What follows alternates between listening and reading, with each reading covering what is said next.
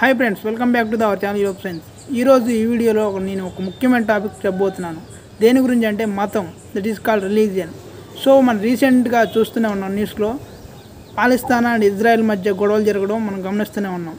So ఆ గొడవలు జరగడానికి ఆ దేశాల మధ్య ఉన్న సరిహద్దు కారణమా? లేకుంటే మతం కారణం అనేది మనం విశ్లేషిస్తే మతమే కారణం. ఒకళ్ళు ఏదైతే ఉందో పాలిస్తానా ఇస్లాం మతం పాటిస్తూ ఈ ఇజ్రాయెల్ ఏదైతే ఉందో క్రైస్తవ మతం పాటిస్తూ ఈ మతాల మధ్య గొడవ వల్ల ఎంతో మంది చనిపోవడం అనేది మనం న్యూస్లో కూడా చూస్తున్నాం. సో ఇది చూసిన తర్వాత అసలు ఈ మతాలు ఎందుకు పుట్టుకొచ్చాయి అనే కాన్సెప్ట్ని నేను ఎంచుకొని ఈ వీడియోలో మీకు చెప్పబోతున్నాను. సో ఈ మతాల పుట్టుక అనేది హిందూ మైథాలజీ ఏదైతే మన భారతదేశంలోని హిందూ మైథాలజీ అలాగే ప్రపంచవ్యాప్తంగా వ్యాపించి ఉన్న ఇస్లాం అలాగే క్రైస్తవ మతాల మైథాలజీ ఏదైతే వాళ్ళ సిద్ధాంతాల ప్రకారం నేను వివరించట్లేదు.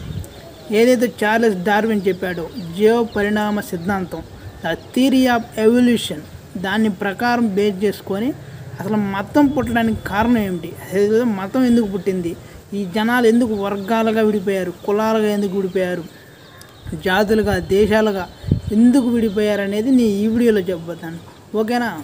మనం ఇంకా వి విషయంలోకి వెళ్తే మీకు అందరికీ చార్లెస్ డార్విన్ తిరిగి తెలుసు. ఏదైతే మనం చైల్డ్హుడ్లో చిన్నతనంలో స్కూల్ డేస్లో నేర్చుకున్నాం. ఏదైతే మనిషి అనేవాడు కోతి నుంచి పుట్టాడు వాడు ఇంకా పరిమాణ సిద్ధాంతం ఏదో పరిమాణం చెందుకుంటూ కోతి నుంచి మనిషిగా చెందాడు అనేది మనం ఏదైతే మన టెక్స్ట్ బుక్స్ మీద కూడా ఫొటోస్ ఉంటాయి అలా చాలా చోట్ల చూసాం. సో ఏదైతే హిందూ మైథాలజీ ప్రకారం దేవుడు ఏదో అన్నాడు భూమి పుట్టింది అలా ఒక్కోటి ఒక్కోటి పుట్టిందని చెబుతారు. ఏదో దేవుడు భూమి పుట్టాలి గ్రహాలన్నీ సెట్ చేశాడని వాళ్ళు చెబుతారు. క్రైస్తవ మతం వాళ్ళు ఏమని చెప్తారు ఆదం అవ్వ ఆదం అవ్వ అని భూమి మీద పంపించాడు దేవుడు. సో వాళ్ళ ఆ కథ ఒకటి. ఓకేనా? ఇస్లాం ఒక కథ చెప్పిద్ది. ఇలా మన కథలను అవన్నీ బేస్ చేసుకోకుండా కదకుండా ఎందుకంటే నేను అవన్నీ నమ్మను. అవన్నీ బుర్ర కథల టైప్లో ఉంటే నమ్మశక్యంగా ఉండవు. సో ఈ ఏదైతే ఉందో మన థియరీ ఆఫ్ ఎవల్యూషన్ ఏదైతే చార్లెస్ డార్విన్ చెప్పాడో ఆ థియరీ ప్రకారం నేను చెప్పబోతున్నాను. సో చూడండి. మనిషి ఆది మనిషి అనేవాడు ఏదో కోతి నుంచి పరిమాణం పరిక్రమణ చెందుతూ ఒక మనిషి అయ్యాడు. చేసిన తర్వాత అతను కట్టుకోవడానికి బట్టలు.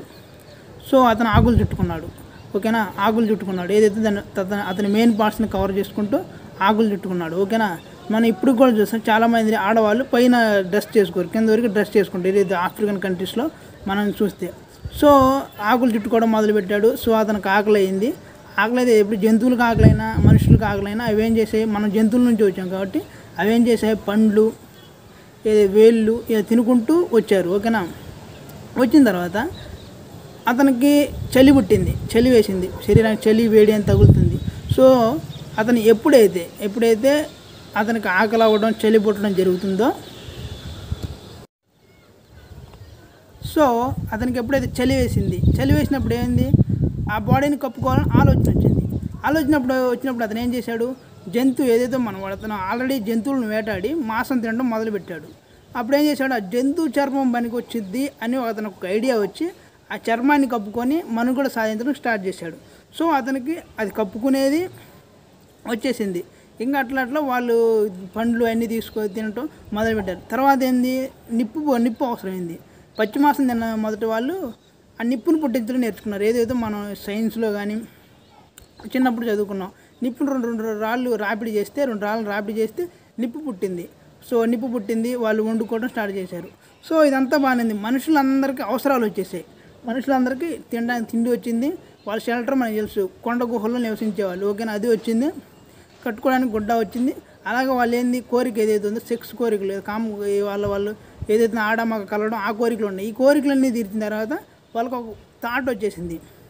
మనకి ఇవన్నీ నేచర్ ఇస్తుంది. సో మన నేచర్ని పూజించాలి అనేది ఒక థాట్ వచ్చింది. సో వాళ్ళు అప్పుడు ఏం చేశారంటే స్టార్ట్ చేశారు. చెట్లను పూజించడం రాళ్ళను పూజించడం ఏదైతే కొండ గుహల్లో నివసిస్తున్నారు కాబట్టి ఆ రాళ్ళను పూజించారు. చెట్లు నుంచి పండ్లు కాయలు ఇస్తున్నాయి కాబట్టి వాటిని పూజించారు. జంతువుల నుంచి మాంసం వస్తుంది కాబట్టి జంతువులను పూజించారు. సో ఈ మూడింటిని పూజించుకుంటూ వచ్చారు. వచ్చారు కొన్ని వేల తర్వాత వాళ్ళ వర్గాలు ఉండడం స్టార్ట్ అయింది. ఎలా అంటే సో మన వర్గాలని వర్గీకరిస్తే కొంతమంది మతాలు విడిపోయారు. కొంతమంది రంగు ఏదైతే నల్ల వాళ్ళని తెల్ల వాళ్ళని విడిపోయారు. కొంతమంది ఆడామగా విడిపోయారు ఇలా ఎన్నెన్నో వర్గాలుగా విడిపోతూ వచ్చారు. ఏదైతే ఉందో? అక్కడ ఉన్న ఆది మానవ మానవులు ఏదో పరిమాణ సిద్ధాంతం ఏదేదో ఆ చింపాంజీ కానీ కోతి నుంచి వచ్చిన వాళ్ళు విడిపోవడం మొదలుపెట్టారు. సో ఎలా అంటే ఇప్పుడు నేను చదువుతున్నా మతాలు మతం గురించి చదువుతున్నా కాబట్టి మతాల్లో ఆడ ఉంటారు మగ ఉంటారు ట్రాన్స్జెండర్స్ ఉంటారు చిన్న చిన్నవాళ్ళు ఉంటారు పెద్దవాళ్ళు ఉంటారు నల్లవాళ్ళు ఉంటారు తెల్లవాళ్ళు ఉంటారు ఒక మతం తీసుకుంటే. సో మన ఈ కాన్సెప్ట్ మతం గురించి కాబట్టి మతాన్ని బేస్ చేసుకొని చెబుతాను. సో ఏ మతమైనా ఎలా ఏర్పడిద్దని మనం విశ్లేషిస్తే ఆచారాలు. సో మన హిందూ మతం చూసుకుంటాం.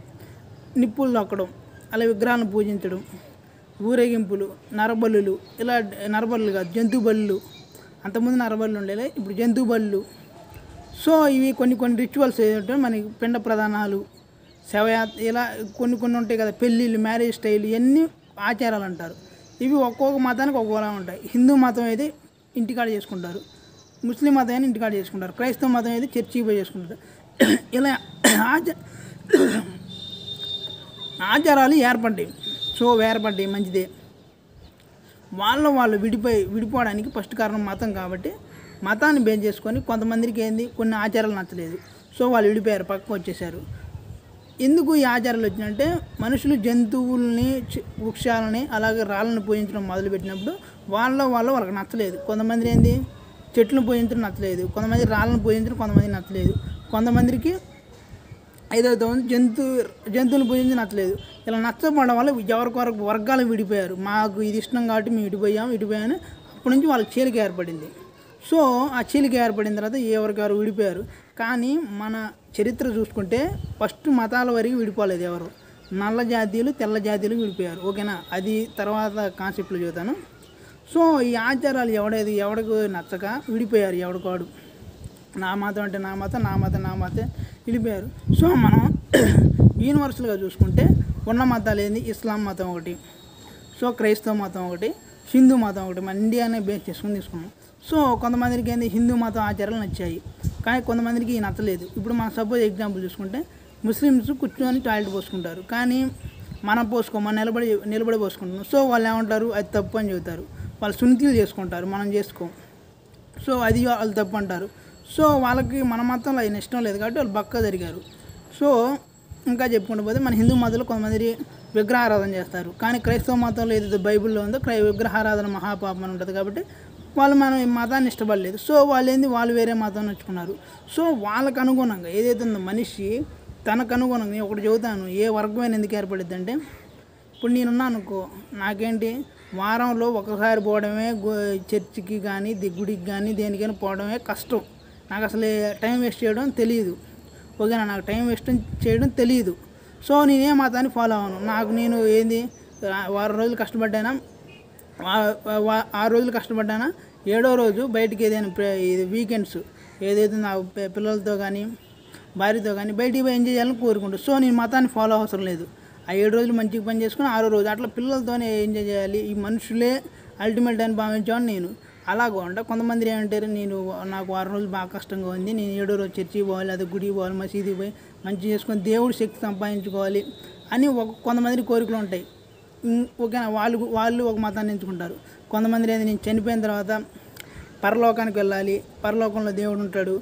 సో నేను ఖచ్చితంగా ఈ పూజలు చేసి తీరాలి నాకు ఆఫ్టర్ డెత్ నాకు ఏదో ఏదో ఒకటి ఉండాలి అని కొంతమంది స్వర్గానికి పోవాలనుకున్న వాళ్ళు హిందూ మతం ఫాలో అవుతారు. సో ఈ పరలోకం అనే కాన్సెప్ట్తో పోవాలి క్రైస్తవ మతం. అలా అంటే జమాత్ ఏ డిఫరెంట్ డిఫరెంట్ ఉంటాయి మనకి తెలీదు. సో వాళ్ళు డిఫరెంట్ మతం ఫాలో అవుతారు. సో మతం ఎందుకు ఏర్పడిందంటే వాడికి ఇష్టం ఏదైతే ఉందో వాడి లైఫ్ స్టైల్కి సూట్ అయింది ఒక వేని ఎంచుకున్నాడు. సో ఆ వేని ఎంచుకున్నప్పుడు వాడు ఆ మతంలో దూకేశారు. ఓకేనా? దూకారు మీరు బాగానే ఉన్నారు. ఎవరి మతంలో వాడు దూరారు? హిందూ మతంలో హిందూ ఆచారాలు వాడి లైఫ్ స్టైల్కి అనుగుణంగా ఉన్నాయి కాబట్టి వాడు దాంట్లో దూరాడు. క్రైస్తవ మతంలో వాడి లైఫ్ స్టైల్కి వాడికి అనుగుణంగా వాడు దాంట్లో దూరారు.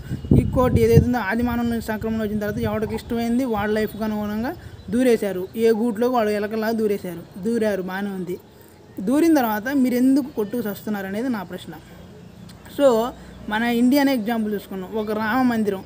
ఆడ ఎప్పుడు ఏదో మన చరిత్ర మొత్తం ఎదవలే ఒక్కడు కూడా ఒక ప్రాణాన్ని నిలబెట్టినోడు ఎవలేడు ఏంటంటే శ్రీశ్రీ అన్నాడు కదా ఏ చరిత్ర చూసినా ఏముంది గర్వకారణం? నరక నరలోక జాతి సమాప్తం అని ఎవరిని చూసినా మనుషులను చంపుకొని కొట్టుకు తాగడం మతం పేరిట వర్గాలు పేరిట నల్ల జాతీయులు తెల్ల జాతీయులను పేరిట మొఘళ్ళని హిందువులని ఈ సామ్రాజ్యాలని పెట్టుకొని మనుషులను చంపినంత ఎవడు దేన్ని బతికించలేదు ఎవరిని బతికించలేదు ఈ మతాలు కానీ రాజ్యాలు కానీ సో మనం చూసినట్టు మొఘళ్ళు వచ్చారు దోపిడీ చేశారు ఏదో అయోధ్యలో అయోధ్యలో దోపిడీ చేశారు. సో ఆడ కూల్ చేసి మళ్ళీ మసీదు కట్టారు.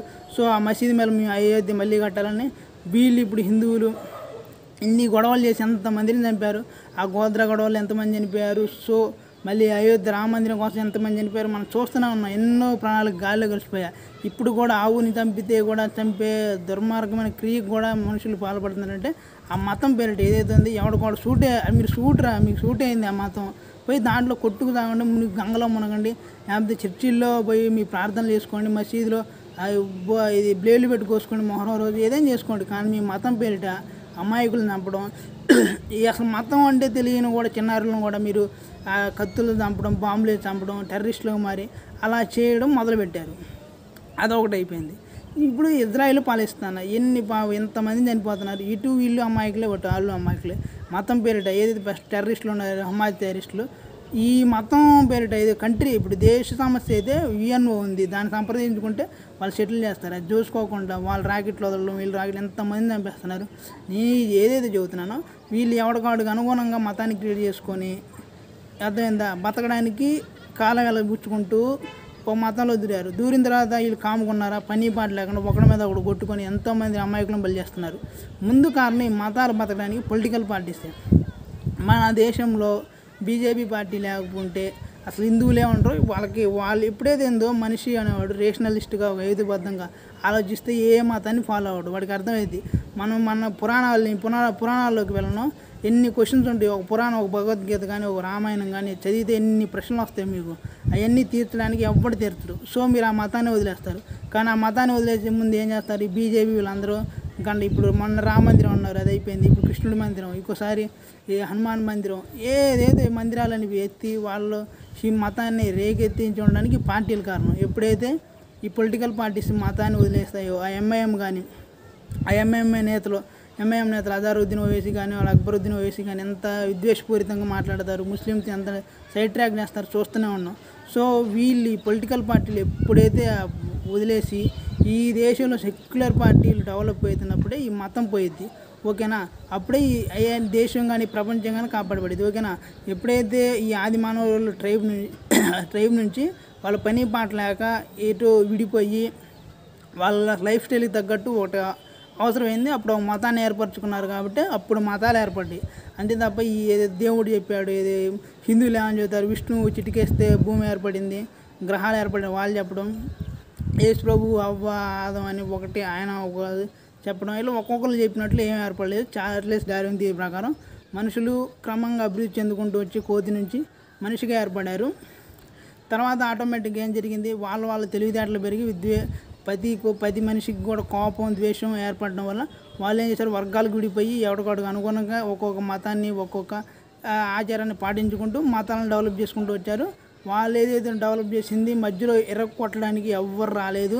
ఈ పార్టీలు అట్లా ఖండించే వాళ్ళకి ఆపోజిట్కి పార్టీలు రావడం వల్ల ఈ మతం అనేది పోక ఈ ప్రపంచం కానీ ఈ దేశం కానీ ఈ పరిస్థితిలో ఉండదా ఉందని నేను భావిస్తాను ఓకేనా? Thank you for watching please subscribe our channel Europe science